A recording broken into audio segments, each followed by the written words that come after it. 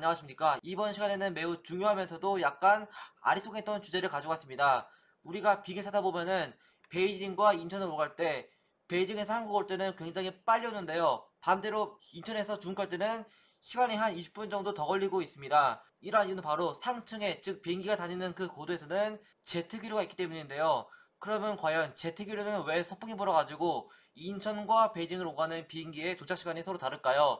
그것이 바로 이번 주제인데 저는 이거를 온도풍으로 관련을 지어서 설명하겠습니다. 그리고 또한 온도풍이라는 것도 벡터이기 때문에 그 전에 벡터하고 스칼라가 각각 무엇이고 그리고 벡터의 기초를 먼저 다룬 후에 온도풍이 무엇이고 그리고 그 방정식은 대체 어떤 것이고 그리고 그걸 통해서 제트그류가 왜 서풍인지 알아보겠습니다. 개봉 박두!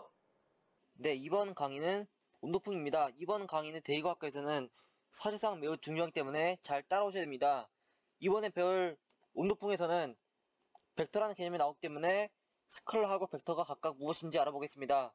스칼라라고 하는 것은 크기만을 갖는 물리량으로 한 개의 수만으로 기술되는 물리량입니다.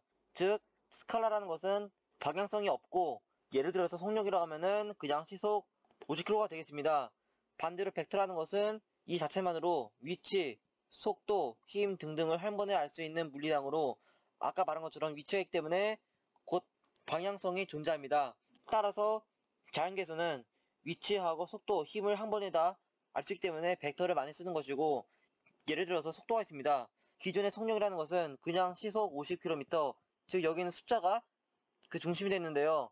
벡터로 하면은 여기 화살표 방향 즉 동쪽으로 시속 50km라는 것이 추가되는 것입니다. 그래서 우리가 보통 속도로 하면은 이미 방향도 다 존재하기 때문에 속도하고 속력의 차이를 알아두시기 바랍니다.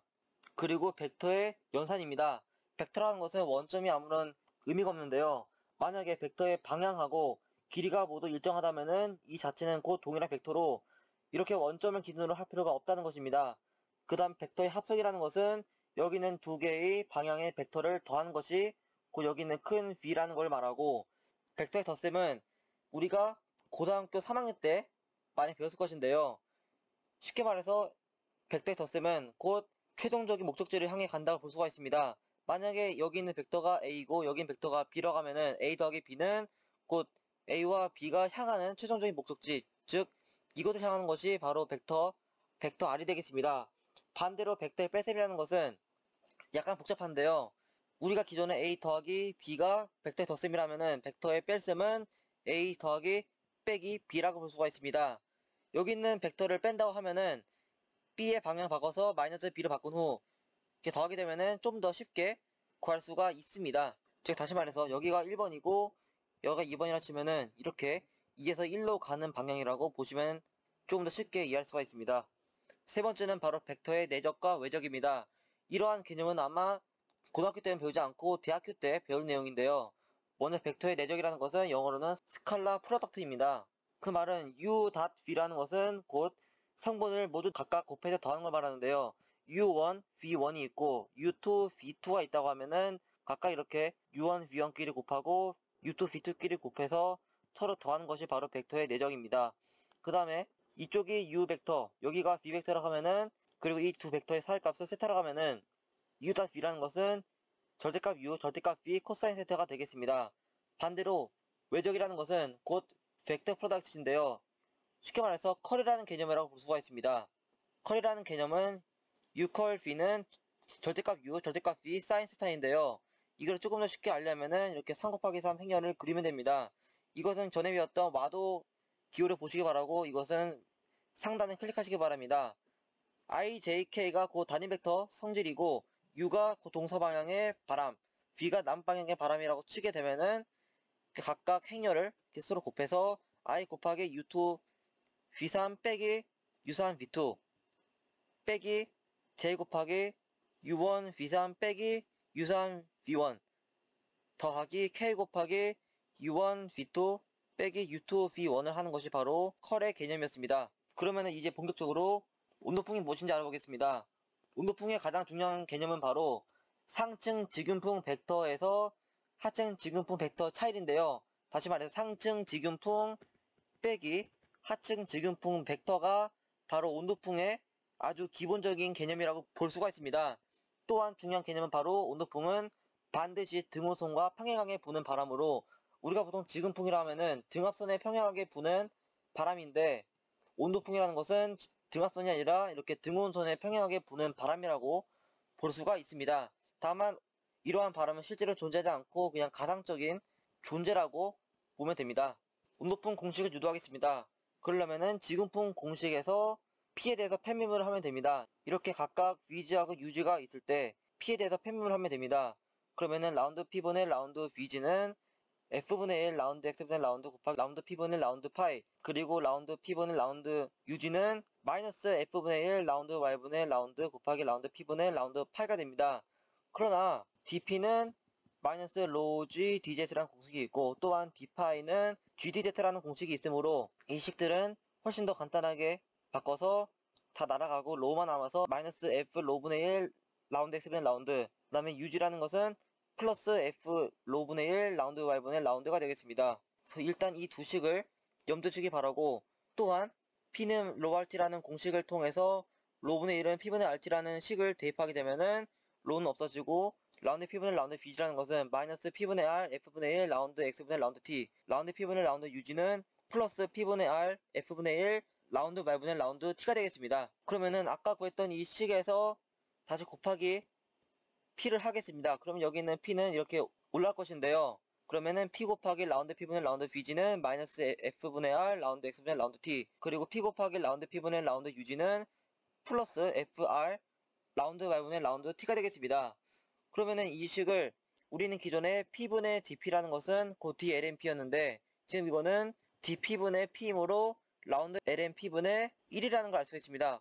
따라서 아래 식은 벡터로 바꾸게 되면은 라운드 ln P분의 라운드 큰 VG는 마이너스 F분의 R K curl del T가 되겠습니다. 이걸 해석하자면은 남북 온도 경도가 존재하면은 곧 온도풍이 존재한다. 온도 경도가 없는 저희도에서는 수납되기므로 온도풍이 없어서 상하층 간의 연재 시작 동안 없다는 것이 이 방정식의 핵심입니다. 그러나 우리가 아까 봤듯이 온도풍이라는 기본적인 개념은 바로 상층 지근풍 빼기 하층 지근풍 벡터였는데요. 여기는 식을 가지고는 상층 빼기 하층이라는 것을 알 수가 없습니다. 따라서 이 식을 다시 하층에서 상층에 대해서 적분하겠습니다. 그러면은 여기다 라운드 ln P를 곱하게 되면은 라운드 VG는 마이너스 FRK 컬 델T 라운드 LMP가 될 것이고 이 식을 하층에서 상층으로 적분하게 되면은 이렇게 쓸 수가 있고 이에 따라서 integral A, B, 뭐 X, DP는 곧 마이너스 integral BA, X, DP라는 식을 이용하게 되면은 이렇게 UT와 VT를 구할 수가 있습니다. 아까 이 식을 적용해가지고 LN의 자리에서 P상층하고 P하층의 자리가 바뀌었음을 알아두시기 바랍니다. 이 식이 바로 진정한 온도풍 벡터라고 볼 수가 있고 동서 온도풍은 남북 간의 온도 경도에 비례, 남북 온도풍은 동서 간의 온도 경도에 비례하고 온도풍은 반드시 찬 공기를 왼편으로 그리고 따뜻한 공기를 오른편으로 두고 분다는 점을 알아두시기 바랍니다. 그 다음에 이거는 그냥 번외적인 것인데요. 아까 구했던 UT하고 VT를 통해서 이번에는 geopotential 차이를 알아보겠습니다. 이렇게 geopotential 차이 공식을 넣게 되면은 즉 R, TV, ln, P2분의 P1을 대입하게 되면은 이렇게 쓸 수 있습니다. 다만 TV bar라는 것은 그냥 바로 T랑 비슷하다고 볼 수가 있습니다. 따라서 UT는 마이너스 F분의 1 라운드 Y분의 라운드 곱하기 델타 Z2 빼기 델타 Z1 온도풍 벡터를 통해서 구한 두 기층 간의 평균 온도라 볼 수 있는데요. 그 이유는 바로 지위고도라는 것은 곧 온도와 관련이 되어 있습니다. 높은 지위고도는 곧 높은 온도를 말하고 낮은 지위고도는 곧 낮은 온도를 말하는데요. 상층 일기도는 곧 지위고도로 구성되어 있어가지고 우리는 보통 상층 일기를 통해서 지위고도를 통해서 아 지금 이 저기압은 뭐 한랭한 성질 갖고 있는지 혹은 기압능은 온화한 성질을 갖고 있다는 것을 알 수가 있습니다. 그러면 이 식을 해석하자면은 온도풍은 반드시 등온선과 평행하게 부는 것이고 따뜻한 공기를 오른쪽 그리고 찬 공기를 왼쪽으로 부면서 불고 수평 온도 경도의 강도는 곧 상하층 연직시역 강도와 똑같으므로 이는 곧 온도풍의 강도라고 볼 수가 있습니다. 여기서 더 중요한 것은 온도풍이라는 것은 상층 지근풍 빼기 하층 지근풍이라는 점을 알아두셔서 이 식이 나왔다고 볼 수가 있습니다. 이번에는 온도풍의 활용입니다.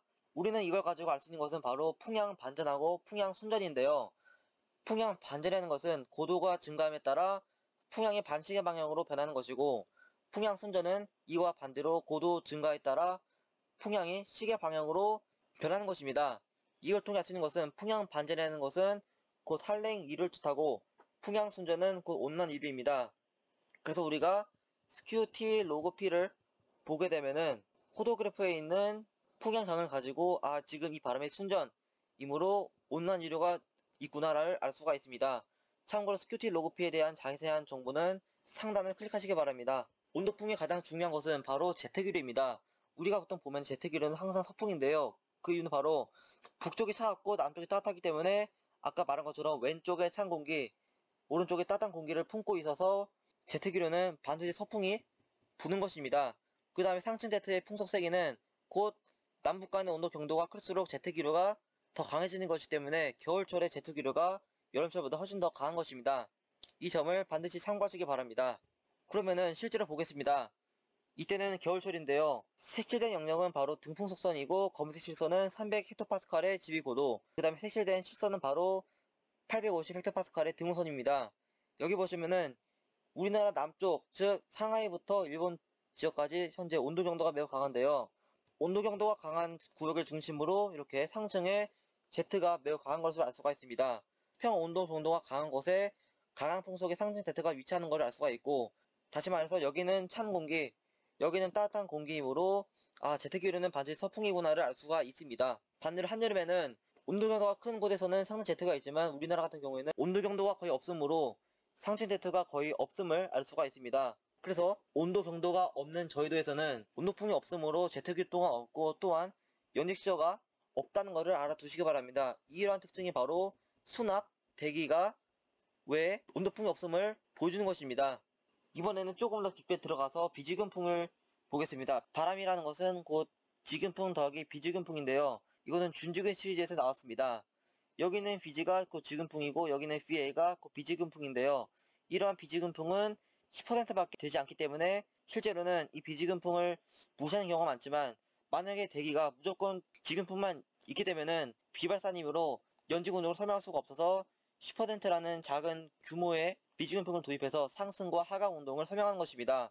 이렇게 배웠던 지근풍이라는 것은 곧 온도풍 균형을 이뤘는데요. 아까 말했듯이 온도풍을 유도할 때 지근풍 공식하고 정력학 공식을 갖고 왔기 때문에 온도풍은 지근 균형하고 정력학 균형을 맞춘 상태인데요. 따라서 이걸 통해서 지근풍은 곧 온도풍 균형을 이룬다고 볼 수가 있습니다. 그리고 이러한 온도풍 균형은 절대로 깨지지 않는다는 점을 알아두시기 바랍니다.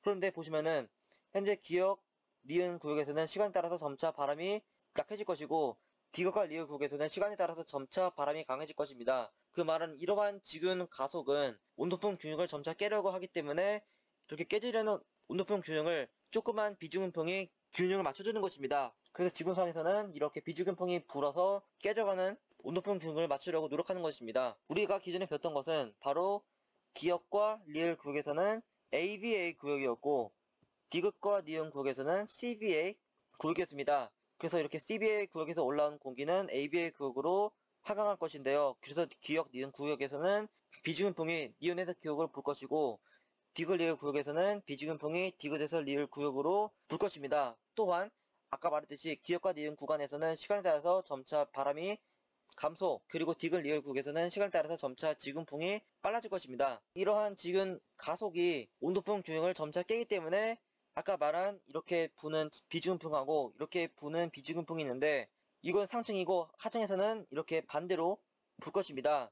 이때 코리올리 힘이라는 것은 진행 방향의 오른쪽인데요.